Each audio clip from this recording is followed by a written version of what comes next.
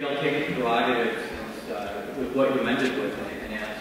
I mean, there was a lot of discussion about evolution per se as being the thing that's most heart-wrenching people because it's something that they don't like the idea that they share their ancestors with sea slugs and bacteria. But I would say that maybe the most fundamental question is, is there a purpose to the universe? And do you think that it's reasonable, uh, as long as our uh, species exists, that someday we'll be able to answer that question? Do you want to start or should I? I'll, I'll start. Okay. Give you time to think about it because I talk without thinking, which is easy. But um, uh, I think it's, and, and, this has come to me over time. In fact, uh, my, I think what I would have said would be much closer to Richard if I hadn't had the experience of actually um, debating the head of the Intelligent Design Network in St. Louis. And, and, um, he, and he was actually one of the few people in that whole program who actually believed what he was doing and believed in what he was doing. He wasn't, it wasn't just a con job. And he, and he said, look, you know, scientists really are trying to destroy our, our, our faith. And he, and he presented a letter from 50 Nobel laureates about evolution, about what happened, and that there is no evidence of purpose or design in life. But the letter then went on to say, and therefore there was no purpose in design. And, and, and he pointed this example, and it really hit me. Yeah, he's right, because that second statement, I don't believe, is a scientific one. I think it's a philosophical statement. It's a philosophical statement that I happen to, uh, that, that resonates with me. But as Carl Sagan once said, and he stole it from someone else, uh, evidence of absence is not, uh, absent, no, absence of evidence is not evidence of absence. And so there may be no evidence for purpose in the universe, but that doesn't imply that there is no purpose in the universe. It, it's a question that you can have a feeling about and still do the science and have very different views about. And so uh, when you make the second statement, it's fine to make it. But I think you have to say that maybe you're being informed by your lifetime of scientific experience, but it's not, I don't believe, a scientific statement. And I think it's, it's very difficult to know, and I, I happen to think we'll never, because it's not a, a question you can answer in the negative, I mean, scientifically. The absence of evidence of purpose will never prove that there is no purpose. And, and I'm, I'm, sure, I know Richard has a very good example of how ridiculous that statement can be, going back to Bertrand Russell. So maybe you'll want to talk about it. But, but it could be answered in the positive. That's the point. If tomorrow or tonight, because I'm here and not in Cleveland, I could look up and see stars. Uh, if, this, if tonight the stars spelled out, I am here, then I think most scientists say, you know, there's something there. and, and, and so uh, positive evidence is certainly possible. Negative evidence is, is not. And, and so you have to, uh, at that point, you're, you're subject to philosophy. And, and I don't think science can make a definitive statement about that. But maybe you want to. I think that's the, the, first time this evening I really disagreed with with with. Oh, good. Lawrence. Okay. I, I mean, um, un, unless you think there is a supernatural being in the universe, which neither of us do, what what what could a, what could purpose in the universe possibly mean? I mean, what what what would it look like? What would it be? why would we even want to use a word like purpose of, of the universe? It seems to me obvious that it's, that it's linked to a theological belief.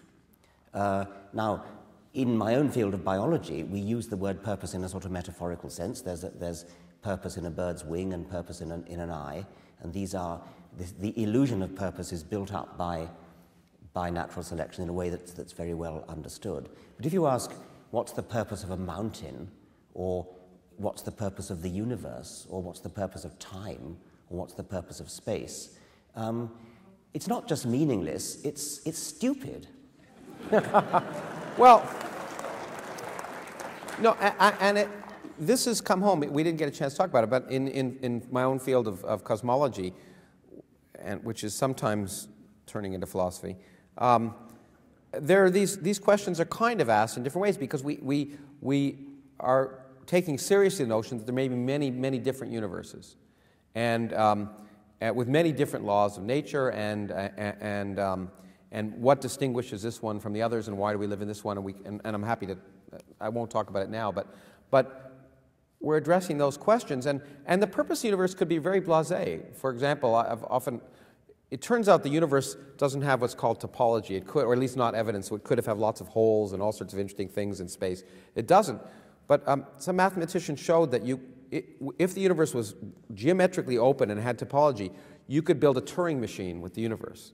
So I like to think that maybe the universe was, was, was in such a universe, would be created to calculate pi to 100 decimal places. And, Well- and, and, and, and, and maybe that's the purpose of the universe. And so that would be. No, you I mean, I'd be very happy to, to, to, to, to I mean, maybe, maybe we are all in somebody's computer simulation. Maybe, maybe we're all, um, maybe the entire universe that, that, that, that we're, we're in is, is the product of a, of a purposeful design of, of an alien intelligence which has put us into a simulation. That's absolutely fine. Um, I, I've, I've no problem with that.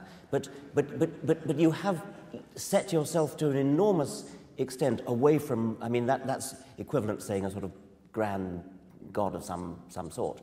And, and I don't have an objection to that. But assuming you don't believe that, then I don't understand why you would even want to ask the question, what is the purpose of the universe? And in fact, I, we got to go to this uh, question in a second, but let me just say one last thing. And that's part of the prob- problem and, and that, to some extent, I've had. Because I agree with you, and I think it's so unimportant an issue that instead of spending a lot of time focusing on it and, and, and, and focusing on people's beliefs about purpose or that, it's much more productive to talk about other things. And that's one of the reasons why I don't dwell on it.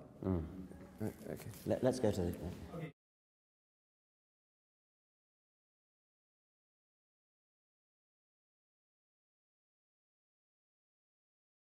Um, I'm very thankful for you gentlemen for what you do. Um, and I wasted a great portion of my life trying to find purpose in the universe. I do have a quibble with you, and that is with respect to awe and wonder. Awe and wonder, I believe, were the greatest tools in the origin, propagation, and promotion of religion. And I don't think that, uh, um, well, that they, I know religion, they want to emphasize all that's the reason they build cathedrals, that's the reason they, they monopolize all forms of entertainment during the Middle Ages. Today, we have the most boring entertainment you can imagine on television, on many channels, every day. The public is sick of this, I think. When we teach science, it should be factual because there is a purpose, it's to survive. And to survive, we need to know the facts. And I'm very tired of constantly trying to move up uh, and um, emotions. Emotions were, um, in the origin of the universe for animals, they were survival mechanisms. For us, emotions are destructive mechanisms. So I hope that she could imagine that she could defend science and not trying to tell people this is awesome. It's Well- Well, we both, well, I mean, I, I vehemently disagree. I spe- suppose that you do too. But I, I think that if you think about whatever field it is that you do and what interests you, it's because you like it. and that's an emotion. And in fact, for me, the greatest thing that I want to tell kids about is that science is fun. It's actually interesting, it's fun, it's exciting, and it, it's pleasurable.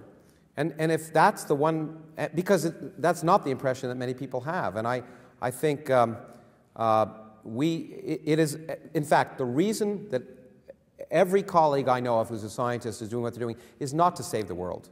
It's because they enjoy it. It's fun, and, and that's what I tell kids. I think uh, we, we do it because we enjoy it, and in fact, you can find it enjoyable.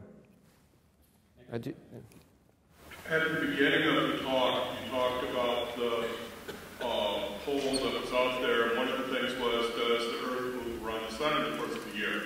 I think you'll agree there are a couple of problems with that statement. First of all, the Earth doesn't go around the sun. The Earth and sun go around a common center of gravity. And secondly, what is a year? Sidereal year or calendar year so on. I, it seems to me that 12% of people misunderstood the question and voted, yes, it does. What percentage of people were accurate and said, nope, that's a wrong statement? Well, that could be. I'm, I, I failed a driver's test once because I interpreted the questions too, too, uh, too deeply. I, I don't, I, I'm not sure that's the case in this.